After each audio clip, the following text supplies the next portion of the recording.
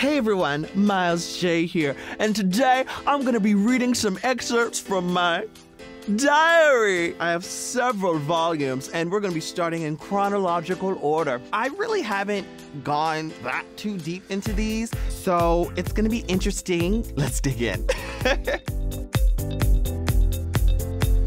November 8th, 2007, 10:47 a.m.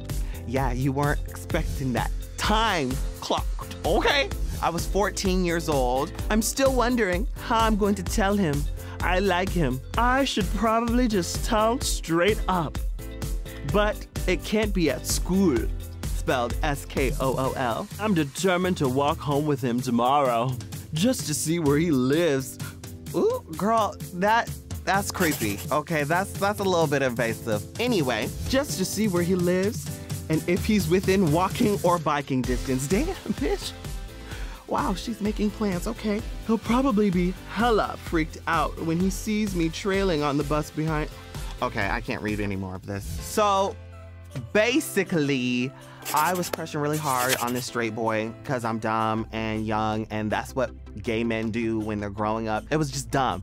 If you are out there, please don't fall in love with a straight man. Eventually, I told him that I had a crush on him over the phone, and um, he said he had to go take a shower and hung up. So that was that. So this is my pink and black journal. Ooh, girl, this is so embarrassing. November 16th, 2010. We've moved up a couple years, so keep that in mind. 8:11 a.m. I woke up late today. That's late. Woo! You should see what time you wake up now, bitch. Woo! Still trying to figure out how well this day will turn out to be. Wondering how my brain got so infected by this boy that I somewhat lost myself in him. At some point, when I figured out that all the boys I was crushing on were straight, I just moved on to the internet where I could literally talk to any boy and they would actually be gay. He's sweet, considerate, caring, loving, adorable, and most importantly, he's so goddamn cute. But I believe it's for the best that I should give him up. Next page. I was probably just some side story or some hollaback boy. That's actually written in this journal. That's really written in this journal. I'm gonna move on. I have to move on. My writing style has always been dramatic. I am a dramatic person, just, you know, from birth. That's just the kind of bitch I am. So this next entry is actually a song. I wrote a whole song for this boy I just talked about. Um, his name's Blake. But he was a hoe. He was a straight up hoe because he had a boyfriend and he was talking to me some kind of way. That is some thoticus ass. I felt so disrespected. I was a side chick. Why, uh, ooh, why am I just now realizing this? I was a side meal. I, wow. Wow. It goes.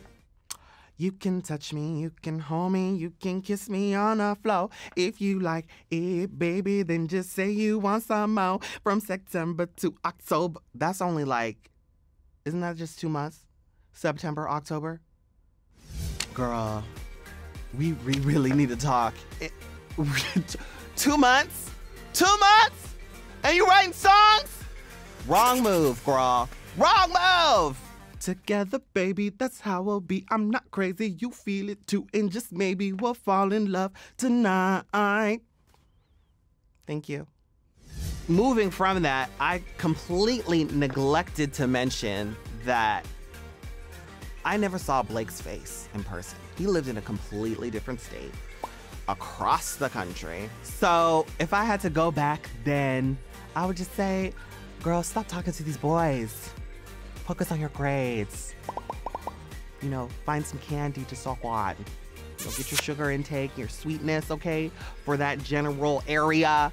Fill the void with something more productive, okay? Thank you. I hope you enjoyed watching me be emotionally vulnerable. Thank you guys so much for watching MTV's Dear Diary.